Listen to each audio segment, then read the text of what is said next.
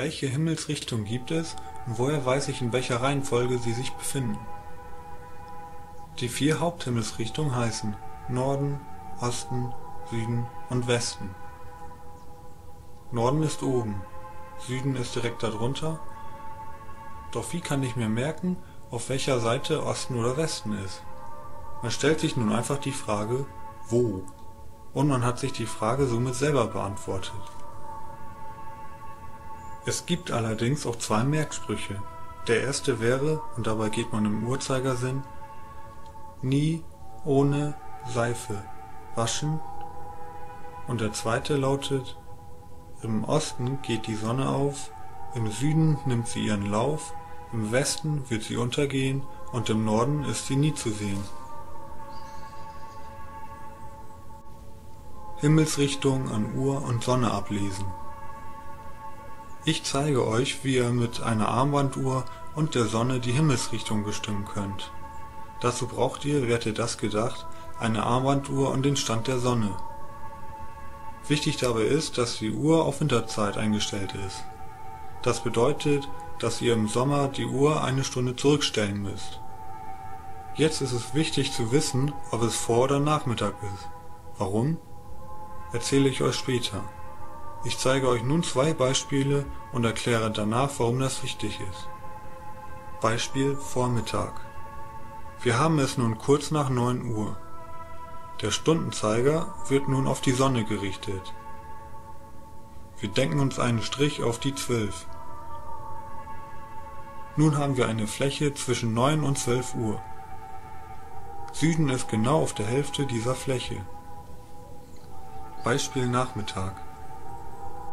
Wir haben es nun kurz vor 14 Uhr. Der Stundenzeiger wird nun auf die Sonne gerichtet. Wir denken uns einen Strich auf die 12. Nun haben wir eine Fläche zwischen 12 und 14 Uhr. Süden ist genau auf der Hälfte dieser Fläche. Was ist nun anders zwischen Vor- und Nachmittag? Vormittag halbiert man vor der 12 und Nachmittag nach der 12.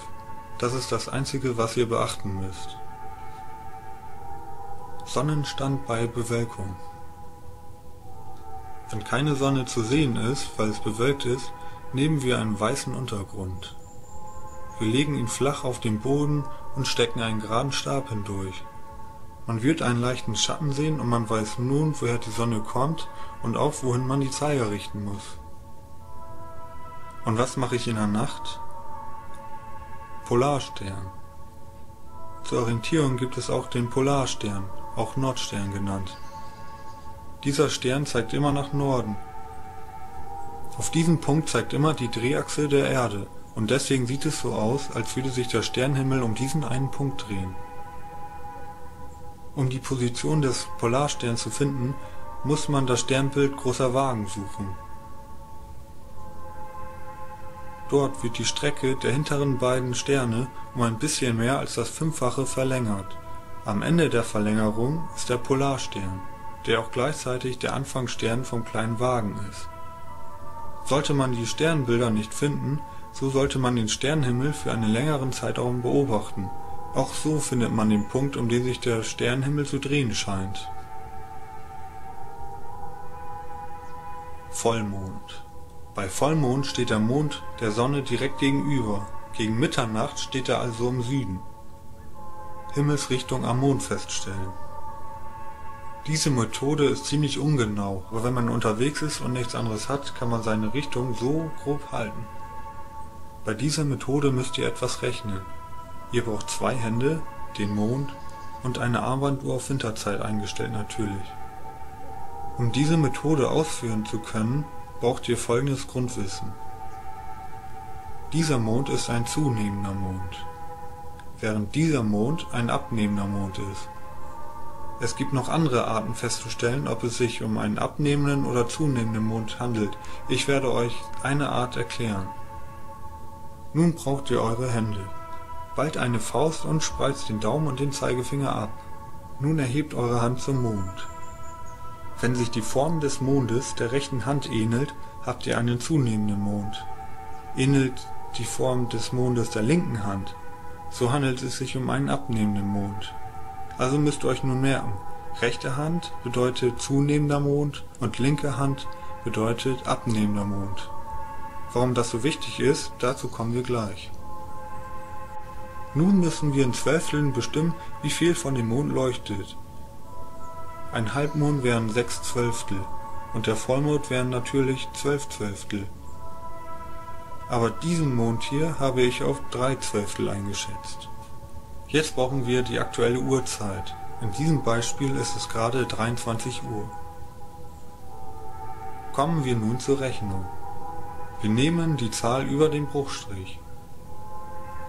Und nun brauchen wir ein Rechenzeichen. Aber welches nehmen wir denn nun? Plus oder Minus? Um das festzustellen, nehmen wir den Trick, den ich euch gerade gezeigt habe, um herauszufinden, ob es sich um einen zunehmenden oder abnehmenden Mond handelt. Ähnelt der Mond der rechten Hand, so haben wir einen zunehmenden Mond, das würde bedeuten, dass unser Rechenzeichen ein Minus ist. Ähnelt der Mond der linken Hand, so haben wir einen abnehmenden Mond, das würde bedeuten, dass unser Rechenzeichen ein Plus wird. Zurück zu unserem Beispiel. Unser Mond ähnelt der rechten Hand, also handelt es sich hierbei um einen zunehmenden Mond. Unser Rechenzeichen ist also ein Minus. Nun übertragen wir noch die Uhrzeit. Das Ergebnis ist die Uhrzeit, an dem die Sonne an der Stelle des Mondes nun stehen würde. Nun könnt ihr mit dem Uhrtrick von vorhin die Himmelsrichtung grob bestimmen. Gibt es sonst noch Möglichkeiten, die Himmelsrichtung festzustellen? Satellitenschüssel. In Städten reicht häufig ein Blick auf die Satellitenschüssel, diese sind meistens alle nach Süden ausgerichtet. Wetterseite Die moosbewachsene Seite eines alleinstehenden Baums nennt man auch Wetterseite, diese befindet sich immer im Bereich von Nordwesten bis Norden. Die Fehlerquote ist hier aber extrem hoch. Allgemeiner Hinweis diese Methoden zum Himmelsrichtung feststellen dienen nur der groben Orientierung, sie geben keinesfalls hundertprozentig die richtige Himmelsrichtung, außerdem sind die Methoden nur für die Nordhalbkugel bzw. für Deutschland gängig.